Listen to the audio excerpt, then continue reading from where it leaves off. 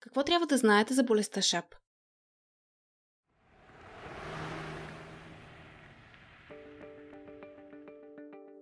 Шапът е силно заразна вирусна болест, която засяга крави, овце, кози, свине и други животни като диви свине. Болестта може да причини сериозни производствени загуби, независимо, че не всички животни умират от вируса. Едно огнище в страната може да бъде причина за сериозни ограничения и блокиране на международната търговия. Хората не могат да се разболеят от болестта, но могат да изиграят важна роля за нейното разпространение сред животните, чрез замърсени с вируса дрехи, превозни средства и друго оборудване. Признаците на шапа са различни в зависимост от вида на засегнатите животни. При говедата болестта може да протече тежко. Признаците, които може да забележите са депресия, висока температура, отказ от храна или затруднено хранене, отслабване, намаляване на производството на мляко, повишено слюноотделяне, мехури последвани от лезии, по нозрите, устните, устната кухина, езика, копитния ръб между копитното пространство в името. Понякога може да причини внезапна смърт при младите ленца.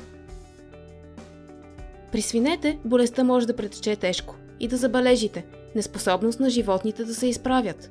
Наблюдават се животни в седнало положение, лези и мехучести изриви по копитата. Внезапна смърт при прасенца. При овцете и козите болестта не е толкова очевидна и можете да забележите малки мехури по коронарния ръб на копитата. Внезапна смърт при млади овце и кози.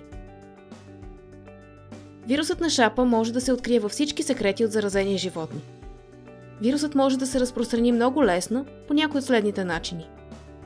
Най-често болестта се предава чрез директен контакт между заразено и здраво животно. Замърсени материали, като сено, фураж, вода, мляко, урина и други. Замърсени с вируса дрехи, обувки или оборудване. Замърсени с вируса стени на кошари, сгради или замърсени транспортни средства за превоз на животни заразено с вируса месо или други животински продукти, когато се хранят животните с сурови или термично непреработени продукти. И при определени метеорологични условия, вирусът може да се разпространи чрез вятъра от близката ферма. Незабавно се свържете с вашия ветеринарен лекар, ако имате съмнение, че стадото ви е заразено с шап. Не премествайте животни от фермата и ограничете всяко движение на хора към и от фермата – ще дойде ветеринарен лекар, ще прегледа животните и ще вземе проби, за да ги изпрати в лабораторията. Лабораторията ще изследва пробите и ще потвърди наличието или отсъствието на вируса. След потвърждаване на ШАП, ще бъдат въведени мерки за спиране на разпространението на болестта в други ферми. Собственици, чието ферми или животни са били в контакт с стопанството, където заболяването е потвърдено, трябва да се свържат с ветеринарния лекар. Всеки изпълнява своята роля, за да гарантира, че общността и държавата остават свободни от чап. Това можете да постигнете чрез бдителност и своевременно съобщаване на всяко съмнение за шап. Благодаря за вниманието.